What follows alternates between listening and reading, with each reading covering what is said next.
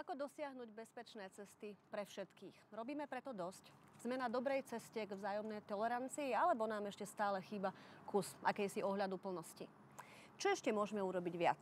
Cyklisti, motoristi, zákonodarcovia, infraštruktúra. Dámy a páni, milí hostia, milí diváci, e, Veľmi rada vás vítam na dnešnej diskusii, ktorú robíme v rámci podujatia Share the Road Mission Right. Dovolte mi, aby som vám predstavila mojich dnešných hostí. Sú nimi Adrian Gazdík, eh, riaditeľ podujatia Road Mission Right. Vedľa neho sedí Joško Regec, bývalý československý reprezentant, cyklistika a bývalý politik. Dobrý deň, prajem všetkým.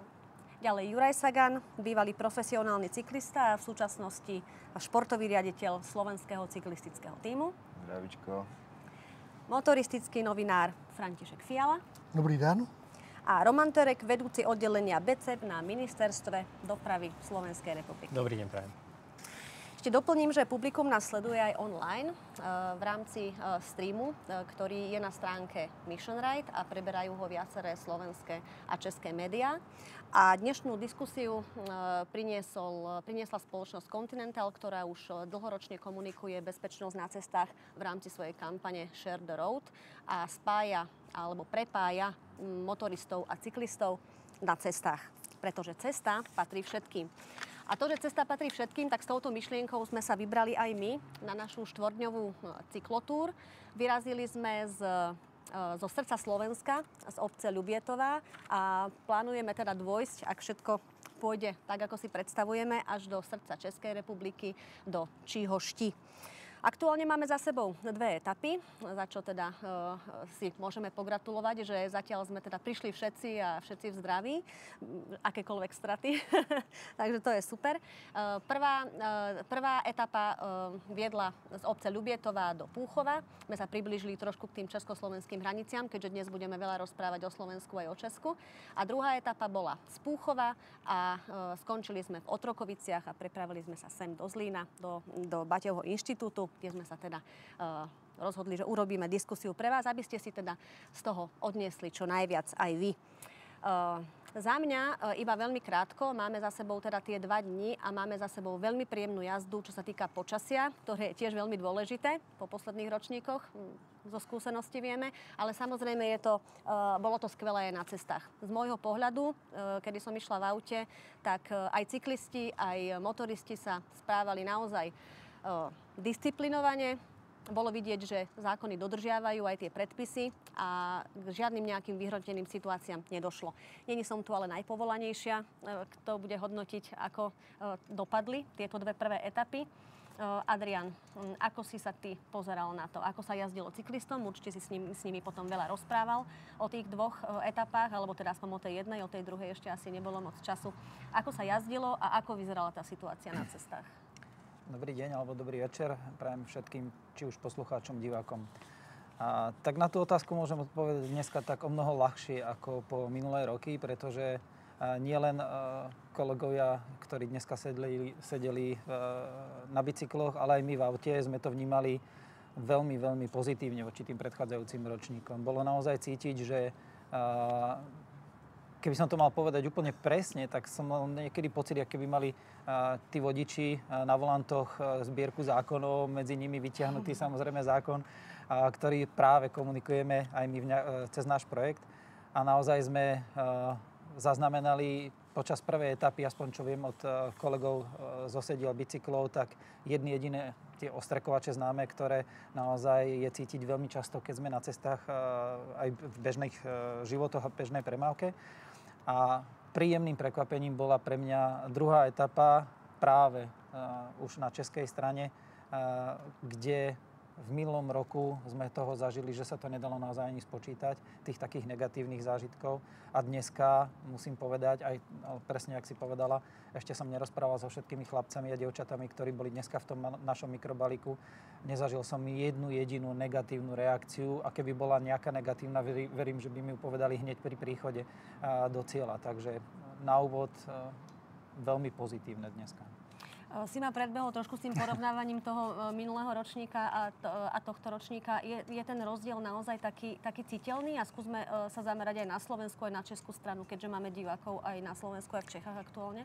A, tak čo sa týka tej slovenskej strany, tam si trúfnem povedať už aj minule pri diskusii, ktorú sme vedli po dojazde v Púchove, a bolo cítiť nielen teraz nás ako z pocitov e, účastníkov toho projektu, ale aj zo štatistík, ktoré pripravilo Ministerstvo dopravy a z Ministerstva vnútra, kde bolo cítiť, že tam je e, akoby také zlepšenie, že tí ľudia to začínajú trošku vnímať. Napriek tomu tam tých negatívnych e, zážitkov ešte stále bolo toľko, že dokáže to, poviem, laického cyklistu, alebo teda samozrejme aj motoristu, znervoznieť akákoľvek reakcia, či to je cyklistová alebo motoristová.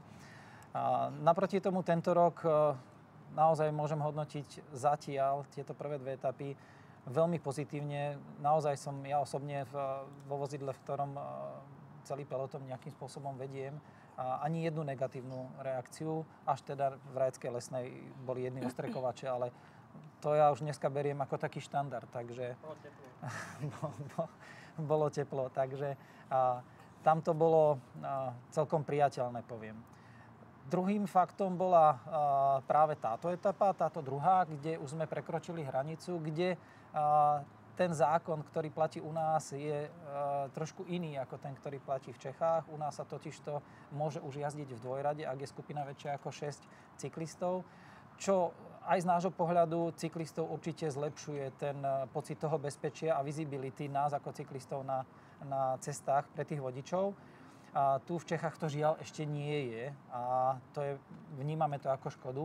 A minulý rok e, nám to naozaj dali, ako sa povie, vodiči vyžrať, e, pretože ten balík, ktorý sme e, boli minulý rok, nás nebolo veľa, bolo nás len nejakých, e, poviem, 20 za okruhlým, tak 20 členný had, keď sa natiahne v ceste, tak naozaj to spôsobí naozaj nemalé zdržanie cestnej premávky a tie kolóny za nami sa kopili.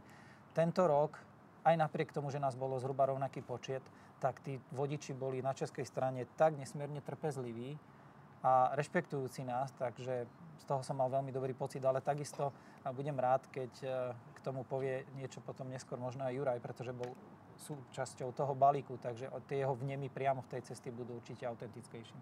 Dostaneme sa určite aj k nemu a budeme sa ešte baviť aj o dvojrade. Ehm, dáta z prieskumu, ktoré dal urobiť e, generálny partner podujatia spoločnosť Continental v júni tohto roka medzi slovenskými a českými e, vodičmi a cyklistami, hovoria, že až 60% opýtaných ľudí má strach.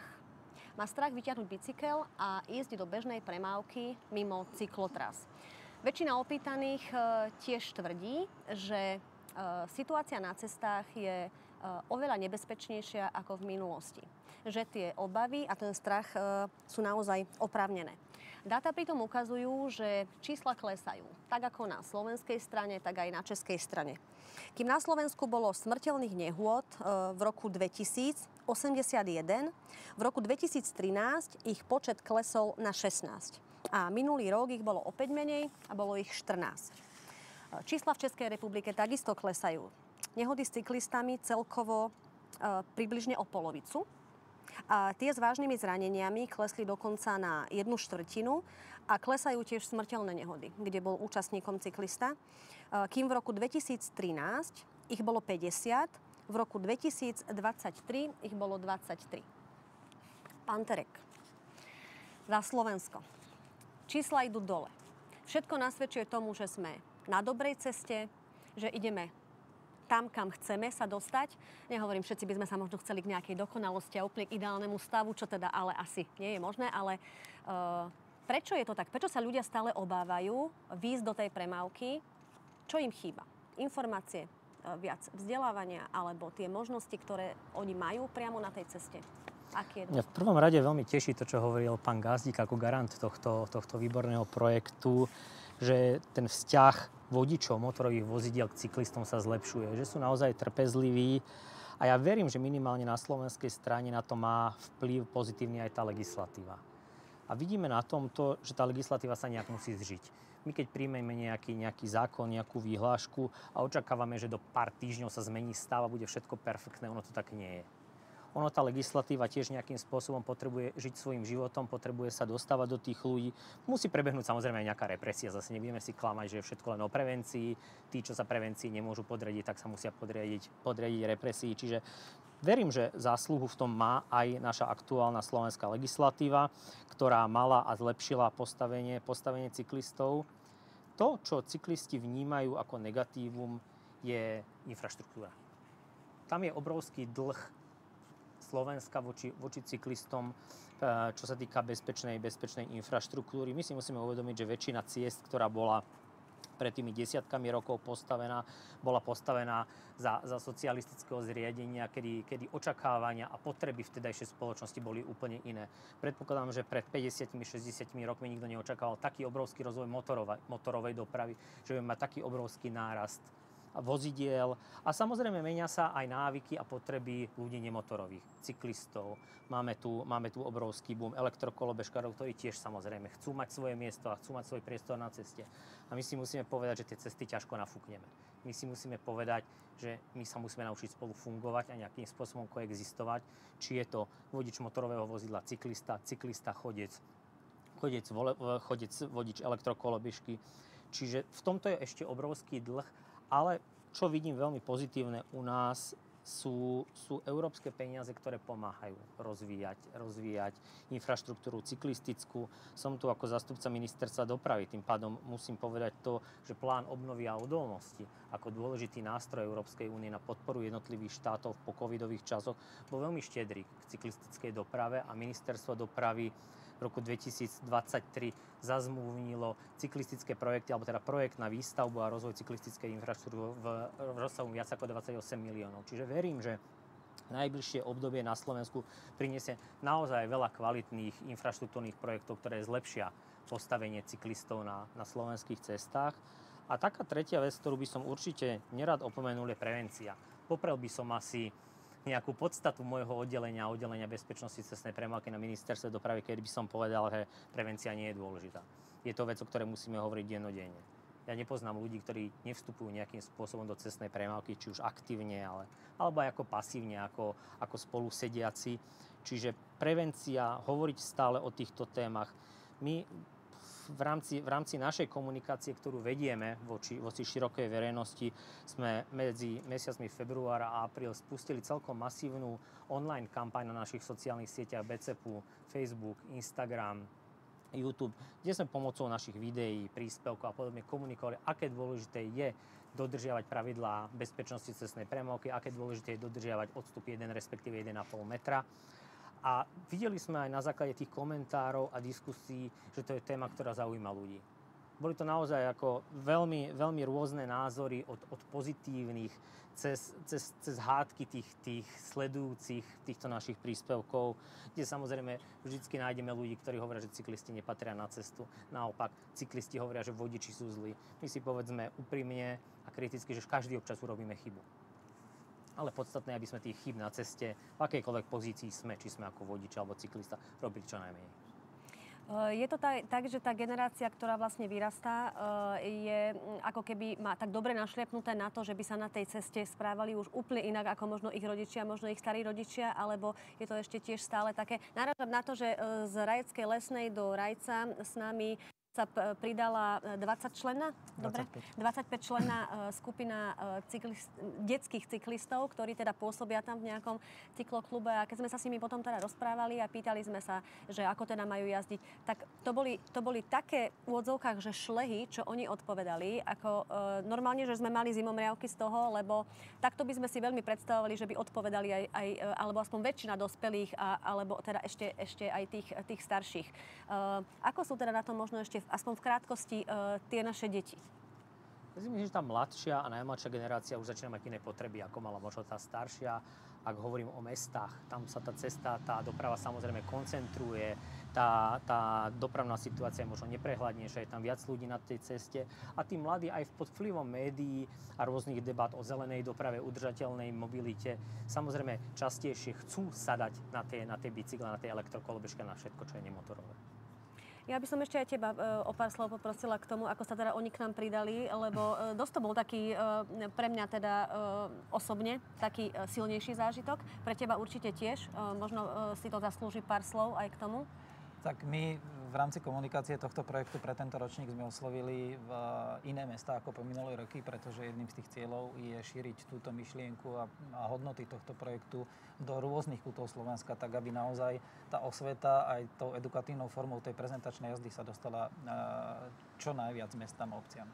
Oslovili sme tento rok aj mesto Rajec, kde na oddelení športu a kultúry robí pán Stránsky, za čo mu aspoň touto formou by som rád opäť poďakoval ktorý je súčasťou týmu eh, Peťa Zánického, ktorý v kempe a športových kempoch eh, pod hlavičkou eh, Peťa Sagana, túto Jurkovho brata, robia tieto športové kempy. No a termín tak pekne sadol, že zrovna začal jeden kemp, ktorý v Rajeckej lesnej robil Peťo Zánický. A tak a sme sa tak dohodli, že my keď pôjdeme vlastne od Turčianských teplíc, tak a, oni nás počkajú v Rajeckej lesnej a tieto deti sa k nám pridajú. A a stále som to bral ako takú formu, že OK, ako myšlienka fajn, len som si nevedel sám predstaviť ten balík tých malých detí, pretože sami robíme s deťmi a vieme, ako tam tie deti jazdia, aj keď treba povedať, že naozaj uh, túto chalani robia profesionálnejšie, alebo tie deti majú aspoň väčší záujem sa venovať tomu športu na tej vrcholovej úrovni. Takže tie jazdecké zručnosti to sú tam trošku iné. A napriek tomu, že tam boli deti na 24-kových uh, kolieskách, a ten balík nás išiel naozaj vždycky 25-30. Samozrejme sme prispôsobili tú rýchlosť k ním, tak zrazu to bolo tak krásne, keď sa tie deťurence ku nám pridali a cesta z Rajskej lesnej do toho Rajca bola o to krajšia a tam bolo veľmi zaujímavé pozorovať, že aj tí e, motoristi a tí kamionisti, ktorí tam boli, tak s takým kľudom a pokorou je to iné, keď to dieťa je na ceste a je to iné, keď je tam dospelý, ktorý sa možno chová arogantne ako cyklista, aj keď teda arogantne určite nie sám, e, pretože by chcel, ale skôr možno z pohľadu toho motoristu.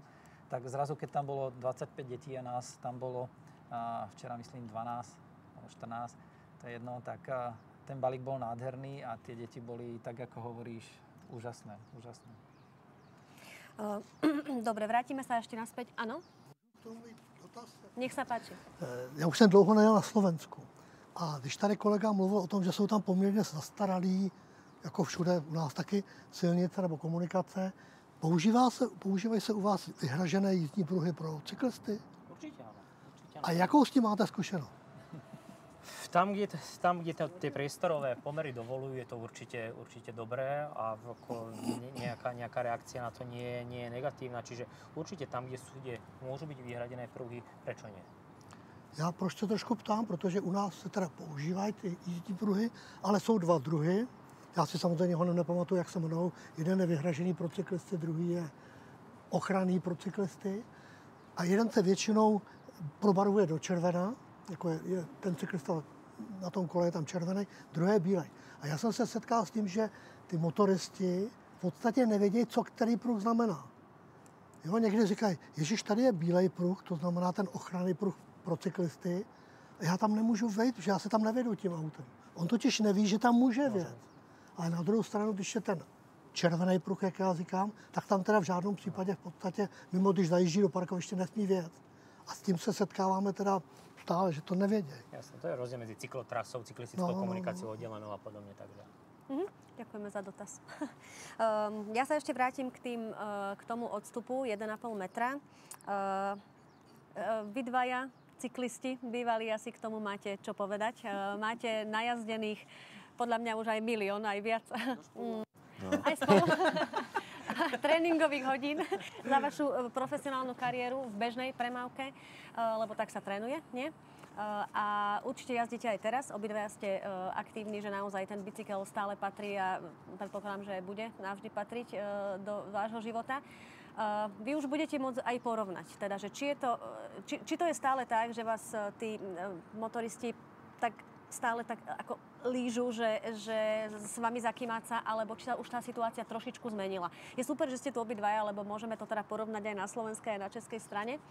Tak uh, skúsme. Juraj, môžeš. Tak za mňa určite som strašne rád za schválenie tohto zákona. Predsa len to bol dôležitý krok, poviem, pre cyklistov ako takých. No a v podstate vnímam to aj tak, že fakt to obiehanie sa zlepšilo, ale kopu razy sa proste človek stretne s nervóznym človekom, ktorý je možno sám so sebou nevysporiadaný a urobí to na schvál.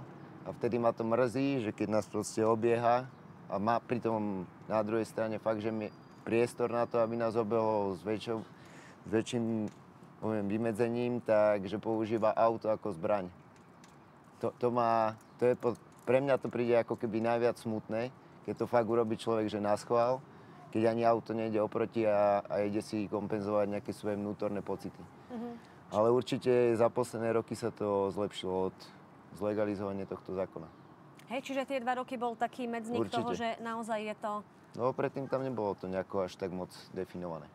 Mm-hmm. Na českej strane, pán Regec? Tak ono je to velmi složitý. Nejdřív bych chtěl poděkovat tady eh, Adrianovi za to, že můžu být mezi váma. Já už eh, jsem tady po druhé, takže už je to úspěch, už to samé je důležité pro nás, pro všechny, že můžeme tady absolvovat tento krásný, eh, tento, tento krásný etapový, etapovou výšku. Co se týče tady těch aktivit, které děláte, já to strašně moc beru, že škoda, že toho není víc a že to není častěji jedenkrát za rok eh, dávat, eh, dávat eh, na známost, že jsme tady, že jsme tady cyklisti a motoristi pohromadě a že chceme ukázat lidem, aby byli tolerantní a aby se chovali zodpovědně nejenom vůči nám, ale hlavně, jak jsme se o tom bavili tady, i vůči dětem. Je to jiný respekt, když jdou ty děti, ale já bych svoje děcko na silnici nepustil. Je něco úplně jiného, když jsme jezdili před 30-40 lety, když těch aut bylo minimum, a dnes, kdy těch aut je bohužel strašně moc a ty komunikace, jak na Slovensku, ani v Čechách nejsou.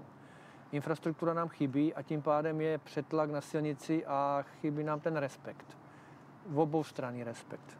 Jak cyklista k řidiči, tak řidič k tomu cyklistovi a vidím to dnes a denně, protože byly teďka tady zmíněné nejdřív ty pruhy. Jo. Máme jich v Praze tolik, že nevíme, kde to, jak máme teďka i v Brně, určitě to i v Bratislavě a tak dále po republice, akorát, že bohužel ten respekt tam není, jo, protože ten řidič na tom autě, když potřebuje, tak tam vjede. Ten cyklista je bohužel pro něho druhořadý, protože on tam musí vět, on tam potřebuje vět, protože tam pot- chce. Ten cyklista zase chce v tom jet, protože má na to právo, má na to nárok. A ta zhoda tam ještě si myslím, že není. 1,5 metru je skvělých, dodržuje to poměrně hodně e, řidičů. Problém vidím v dopravě nákladní a kamionové.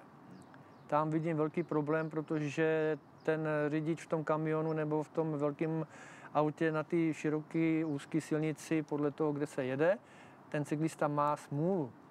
A bohužel tam vidím zásadní problém v tom, že on nemá čas, protože spěchá.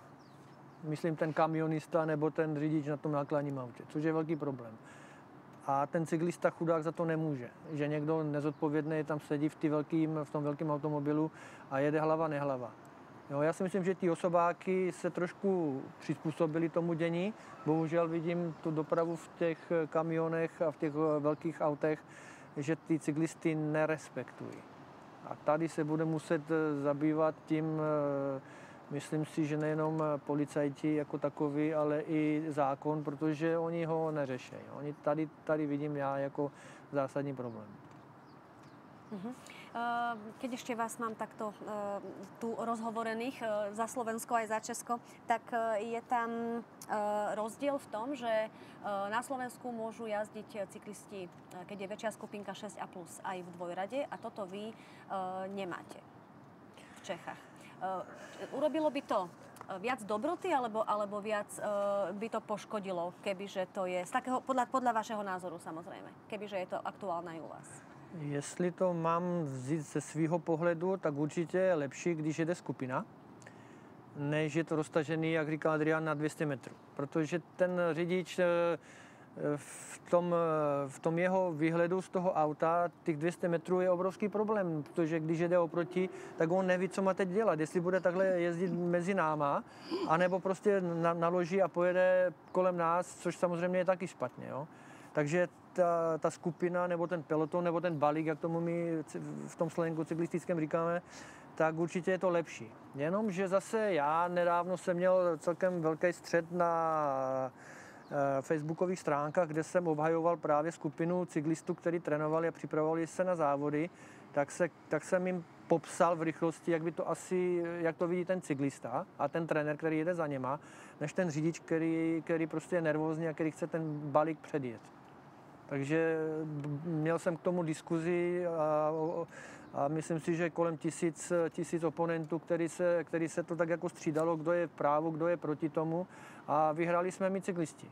Jo, protože jasné je, že když ten balík jede e, sice ve dvojici, tak je to pořád, dejme tomu nějakých 40-50 metrů, než 200 metrů, kde prostě tam není šance, aby ten, eh, aby najednou ten řidič to, ten, tu, tu dlouhou skupinu, ten, ten vláček předjel.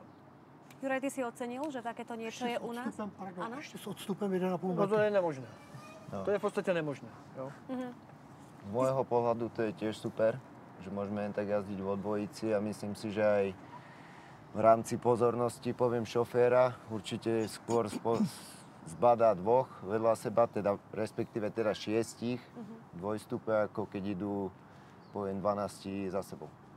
Pán Fiala, vy, uh, vy ako motorista alebo ako človek, ktorý sa v tomto uh, prostredí pohybujete, ale zároveň ste mi teda povedali, že sa pohybujete aj v tom cyklistickom, mm-hmm. čiže viete to povedať aj z jedného z druhého pohľadu, ako sa vy na to pozeráte? Já v podstatě musím plnohodnotně podepsat to, co říkala tady Joška naprosto souhlasím, protože pak, když je určitá skupina, která vypadá, řekněme, skoro třeba, když je jich šest lidí, tak jako auto, tak se dá dobře přejet. Ale když je to dlouhý, tak se to nedá. Takže z mé strany je, že velice závidím Slovenské republice tenhle ten zákon. Mm-hmm. Protože my to furt ještě nemáme a není to dobrý. Takhle, na druhou stranu, někdy se to trošičku toleruje, protože oni ty cyklisti, když trénovali nebo trénujou, tak vždycky jede, jedou v balíku, nebo většinou jedou v balíku. Takže plus minus se to toleruje. Ale bohužel někdy teda se může ten řidič zbláznit a, a s tím nic neuděláme. Mm-hmm. Zatím. Zatiaľ. Zatiaľ. Prieskum, prieskum medzi motoristami a cyklistami ešte ukázal, že väčšina Čechov a Slovákov vníma spolužitie, to aktuálne spolužitie na ceste cyklisti a motoristi za veľmi problematické. Že z pohľadu cyklistu je ten motorista väčšine uponáhľaný, nervózny a väčšine vytrubujúci a zase z pohľadu e, toho motoristu sú cyklisti tí, čo na ceste zavadzajú, na, ktorí sa na ceste rozťahujú. Hej. E, keď padne šero alebo už je tma, tak chodia neosvetlení, neoznačení tými, tými reflexnými prvkami. A teraz ja sa pýtam, že kde je ten recept? Uh, pán Fiala, vy, vy Áno, vy chcete niečo povedať, povedzte. Já jsem... Já jsem to tak viděla, že se tak jako Já jsem to teď úplně zapomněl, úplně jsem to spolknul. Ale víte, co na tom pikantní? Že velká většina motoristů je současně cyklisty. A velká většina cyklistů je současně motoristy. A je to, prostě když jsem motorista, tak jsem pán. V ocelovom nějakom nebo plechovém tom. Když jsem cyklista, tak jsem zase tam geroj. Takže dokud oni si to navzájem pořádně v té hlavě nepřeberou, a dokud my cyklisti, jak jste taky naznačila, se trošičku neoblékneme, nerasvítíme si ty blikačky a zase na druhou stranu, teď ještě zase, eh, existuje zákon, jak má vypadat silniční kolo, nebo jak má vypadat kolo. Že má mít odrazky dokonce v kolech a v pedálech a takovýhle. Já to považuji zase až za, za přehnanou věc, protože si myslím, že když kluk trénuje když Jura pojede na silničním kole a bude trénovat na to, tak pochybuju velice, že bude mít odrazky teda v kole. Tak to. Zaplať pámu, že ta policie to jakž tak toleruje toto. Jo, to je výborná věc. Na druhou stranu, já nechápu, proč výrobci, doposavat výrobci oblečení, zimního oblečení, kde je většinou špatné počasí a špatná viditelnost, tak preferovali černé barvy. Černé barvy osvětlení, eh, oblečení. Až poslední dobou se začínají teda pronikat takový ty barevní a skutečně reflexní a tak dále. Takže to je naše chyba zase cyklistů. Jo, já jsem motorista a cyklista. Naše chyba cyklistů je, že když teda někam vyrazíme, tak se buď neosvětlíme, zároveň tu blikačku nedáme, a nebo se teda oblíkneme tak nějak úplně jako tady kluci černě a ne tak hezky růžově jako já. A ešte som chtěl jednu věc, a to jsem fakt zapomněl, takže nevím. Keď vás napadne, tak kľudne môžete jo. sa opäť zavlniť a ja budem vedieť, že ano, chcete ano. niečo povedať. a vrátim... Ja môžu, ja môžu kolegu doplniť v tom, že nám ešte chybí takový ten jižanský, pohodový, klidný jo. životní styl. Mm. My, my pořád za něčím spěcháme, my pořád chceme všechno mít hned, rychle A já si myslím, že tady nám chybí to maňána. A když budeme mít tu maňánu, tak to bude super, protože konečně pochopíme, že ten život nám neuteče, stihneme to úplně stejně a oba dva se budeme navzájem tolerovat. To si myslím, že zatím my ani na Slovensku, ani v Čechách nejsme schopni pochopit. Ja mám ten istý A já názor. se začínám vrnět zase, takže něco chci říct. Už jsem si vzpomněl. No. Eh, jestli znáte nějaký, nějaký kamarády, který jezdí s karavanem. A správný karavanista se pozná tím, že když třeba jede na Giro se podívat, nebo na Tour, tak v těch horách on ten karavan jede pomalejc. Takže čas od času zastaví nebo uhne, aby ty rychlejší moto, motocyklisti, motoristi mohli projet. Toto, kdybychom dělali my cyklisti, taky čas od času, že bychom přece jenom uhli, bylo by to taky super. A vrátim sa A teraz... už se přestávám vrtět. Kľudne sa vrte aj, naďalej. Uh, vrátim sa teraz sem, zase, zase k tebe, uh, aj s ohľadom na podujatie, hej, uh, v rámci ktorého sme tu, sme tu dnes, tak zo pár receptov si tu počul, tak teraz uh, vyťahni to gro a povedz, čo je, čo je teda uh, tým, tým naozajstným receptom. Nie, že by tie vaše neboli naozajstné, ale povedz, čo si ty myslíš o tom, že, že ako by sa teda dalo zlepšiť to fungovanie na tých cestách vzájomné. Tak ono tuto naozaj treba povedať, že všetko to, čo povedali chalani alebo páni tuto vedľa mňa, tak eh, všetko dáva zmysel a všetko môže pomôcť celkovej tej skladačke. Eh, Minulý rok to pekne povedal Milan Dvorčík, ktorý bol súčasťou tej debaty v Púchove, eh, že zákon nám nič nevyrieši, alebo nevyrieši to hneď, ale vyriešia to takéto pomaličké kroky jeden za druhým. Čiže keď pomyselne vyskladáme toto pucle, ktoré v celom tom celkom obraze naozaj môže vyzerať ako usmiatý cyklista, usmiatý motorista, alebo ako lobežkár, alebo mamička s kočikom na nejakej naozaj okresnej ceste, tak to bude to pucle, ktoré by sme chceli všetci vedieť, vidieť. A, či to bude teraz alebo za 5 rokov, to ja si skôr trúfam povedať, že to bude najskôr za 10, lebo naozaj je vidieť, že tá mladá generácia už to vníma trochu inak, prispôsobuje sa tomu úplne inak a, a bude nám naozaj treba veľa krokov. Tie, ktoré už tu boli spomenuté, či už je to, to občasné odstavenie na krajnici, to je vidieť, my sa snažíme tiež aj počas nášho projektu a, toto aplikovať, aby keď už vidíme, že vytvárame naozaj veľkú kolónu, tak jednoducho zastavíme na kraji a necháme, nech to prejde, aby naozaj sme nevytvárali aj my takú tú, tú nevraživosť. A potom je samozrejme, že sa tí vodiči môžu na nás hnevať. A ďalší z tých krokov, ktorú sme spomínali aj pri minulej diskusii, bolo taký ten návrh, ktorý, ja ho budem asi omielať stále, mne sa strašne páči. Ja by som napríklad počas eh, výuke v autoškolách dal každému mladému človeku, ktorý chce získať vodičské oprávnenie, aby jazdil týždeň v premávke na bicykli. On by to možno pochopil rýchlejšie, aby sa možno inak choval. Ale opäť, to sú len eh, postrehy možno každého jednoho z nás. Možno keby tu sedel niekto iný, tak povie úplne iný, pretože má úplne inú skúsenosť. Ale za nás môžem povedať, že aj v rámci tohto projektu a tej spolupráce, ktorú máme s Ministerstvom dopravy na slovenskej strane, a myslím si, že ideme pomaličky krok za krokom tak, ako nám to len dovolia možnosti, dovolí legislatíva a dovolia podmienky a dovolia skvelí priatelia, ktorí sú súčasťou toho balíka. A dovolia aj takí ľudia, ako sú tuto Jurko s Joškom a Milan Dvorčík, ktorí sú s nami už e, dohromady, poviem, tretí rok a, a dokážu aj svoje tváre ponúknuť cez e, prostredníctvom práve takýchto diskusí tie skúsenosti navonok a verím, že práve ich skúsenosti dokážu mnohým otvoriť oči, lebo veľa vodičov, veľa cyklistov možno o tom doteraz ani nerozmýšľalo a dúfam, že e, zhliadnú svoje oči e, práve k takýmto osobnostiam, ako sú túto páni vedľa mňa a si povedia, OK, začnem na to pozerať inak. A to je zase jeden z tých kúskov skladačky. Jedným kúskom je aj tá edukácia. To, ne, to, to neustále To určite. dookola opakovanie o tom, ako by to malo byť. A to je vlastne aj myšlienka uh, Shared Road Mission Ride. Tak. Tak, Tak. povedzme si, čo nás čaká uh, ešte počas tých dvoch etap, ktoré, ktoré vlastne ešte budú zajtra a pozajtra. Tak teraz nás čaká čisto česká a, časť projektu, kde sa budeme snažiť jazdiť naozaj v lajne, tak ako súčasná alebo tunajšia legislatíva prikazuje, umožňuje, takže my budeme chcieť aj na vlastnej koži zaznamenať všetky tieto skúsenosti, ktoré nám to prinesie počas týchto dvoch dní. Uvidíme, ako na to budú reagovať vodiči. E, Myslím si, že budú reagovať len tak, ako sa my budeme chovať ku ním, takže dúfam, že dobre.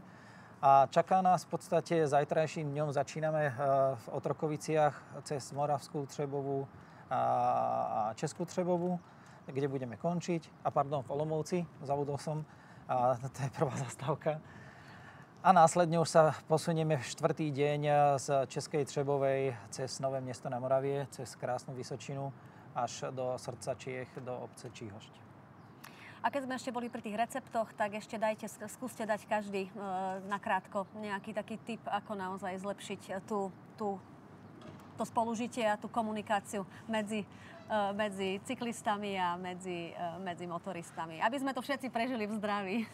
Určite, ja si myslím, že zatiaľ to, je, zatiaľ to je stále taký boj medzi tým veľkým a tým veľkým myslím toho, toho motoristu, ktorý je chránený, chránený plechmi a karosériou a airbagom a pásom a, a tým malým, ktorý je chránený maximálne tou prílbou, ale ja by som bol veľmi rád, aby sa to čo najskôr dostalo aspoň k remíze k nejakému súžitiu a k dohode, aby to už prestalo byť bojom, ale práve tým nejakým, nejakou harmóniou na tej ceste.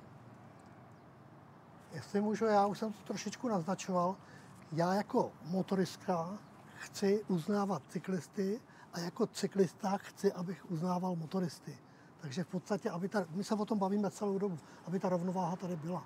Prostě účastníci silničního provozu jsou všichni, je, to, je na to zákon, je na to stoletý zákon.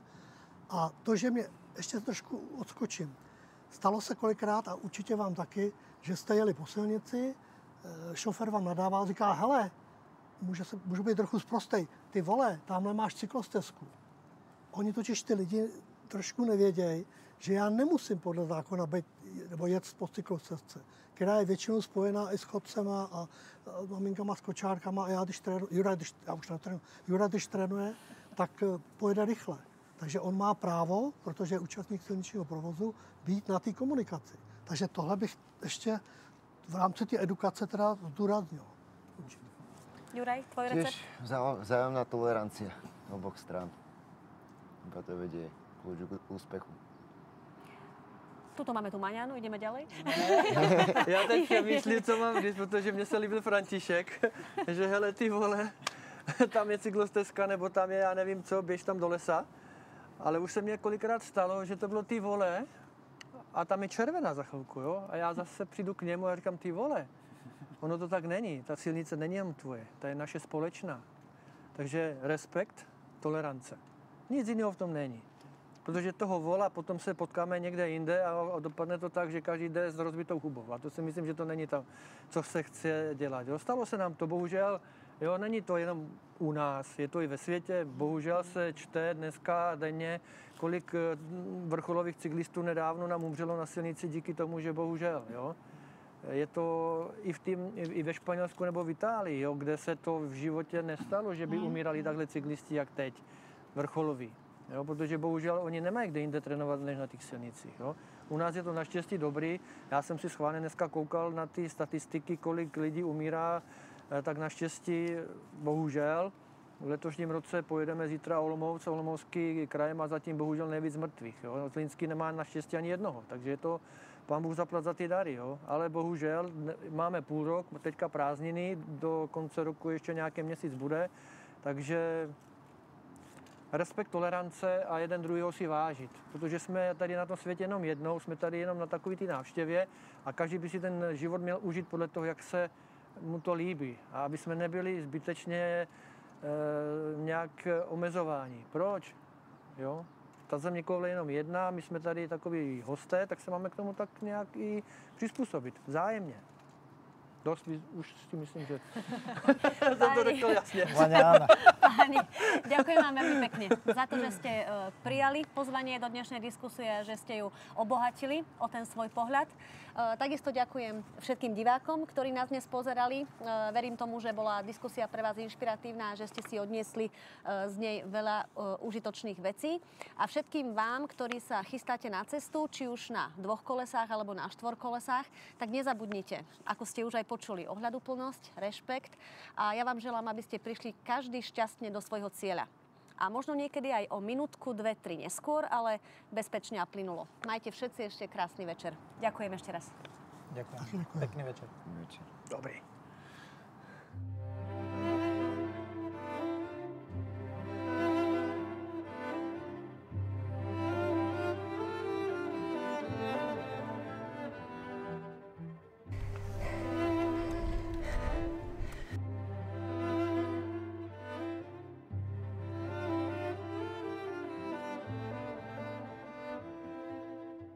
Druhý ročník Mission Ride naprieč Slovenskom. Misijné podujatie, ktoré má priniesť ľuďom trošku osvety ohľadne nového zákona o cestnej premávke. Všetci cyklisti sú pripravení, to znamená, to najzákladnejšie je tu, aby nás bolo vidieť, aby ľudia pochopili, o čom to je.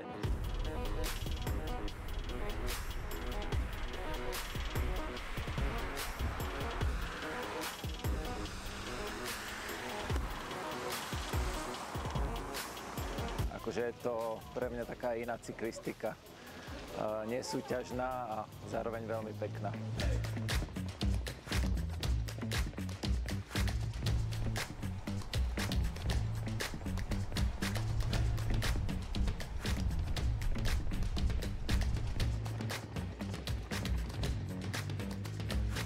Keď som neumrel včera, umrem dnes.